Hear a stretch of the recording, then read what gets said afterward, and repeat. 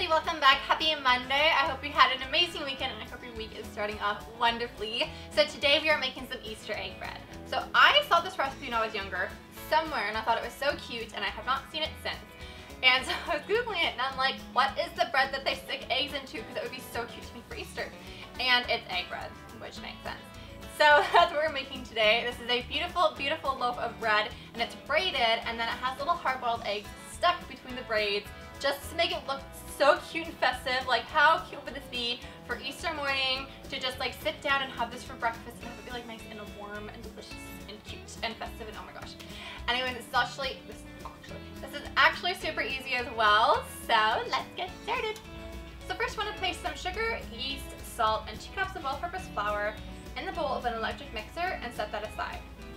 Then you want to heat some milk in your microwave until it's about 120 degrees Fahrenheit to 130 degrees. But if you don't have a thermometer, literally just heat it for like a minute and a half or until it's hot. Not bubbling over, but just until the milk is hot. And then add that to the mixture that is in the electric mixer as well as some butter. And mix on medium speed for two minutes. Then add three eggs and vanilla extract and beat on high speed for two minutes. And gradually add some more flour until the dough is soft and still sticky. So you might not need to add all of the flour that's like listed in the recipe. I didn't. Um, so just, it depends on like the humidity of your house and everything like that. Um, so just keep adding until the dough look, dough? The dough looks soft and sticky and then stop there. I added too much so I had to like add some like milk and water to like thin it down. It was awful. But um, yeah, so just don't add it all at once. Just like add little by little and see how the dough looks. And then you want to mix it on medium speed for about 8 minutes for the dough to knead together and knead itself and for the flour and yeast to develop. Or you could also do this stage by hand, just knead it on your table or your like your your baking surface. What am I talking about? Your like your counter. Um, it's totally optional. I love the KitchenAid because it's so handy. It's, like, it's hands-free basically. but yeah, totally up to you. And you want to knead until it's smooth and elastic. Then pop the dough into a greased bowl and then rotate it once in the bowl so that it's greased on all sides. Cover with plastic wrap and place in a warm spot until it's doubled in size for about 45 minutes. And while you're waiting for the dough to rise, you want to dye some hard-boiled eggs with the food coloring. And you can see my tutorial that I'll link in the cards right here for how to perfectly dye eggs. And allow the eggs to dry completely. Punch down the dough and then transfer it to a floured surface.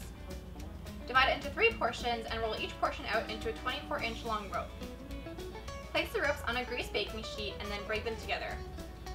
Bring the ends together to form a ring and then pinch the edges together to seal. Brush the hard-boiled eggs with some canola oil and then stick them into the braid, kind of like folding them or tucking them between the ropes. Cover the bread with a kitchen towel and allow it to rise in a warm spot until it's doubled in size for about 20 minutes.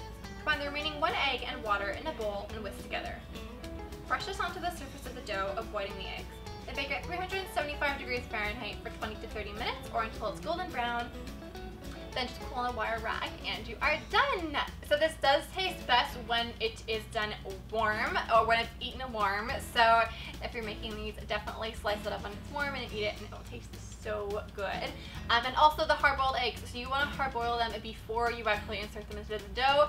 Don't use raw eggs and they'll be completely fine and completely edible after you bake them. So I know they're like when I was looking up online there were a lot of questions about that. So I just wanted to let you guys know. Anyways, thank you guys so much for watching. I hope that you like this recipe. Make sure to hit the subscribe button and ring the notification bell so you're notified when tomorrow's video goes live because I'm uploading every single day from Monday to Friday. And I love you guys so much. And yeah, I will see you guys tomorrow.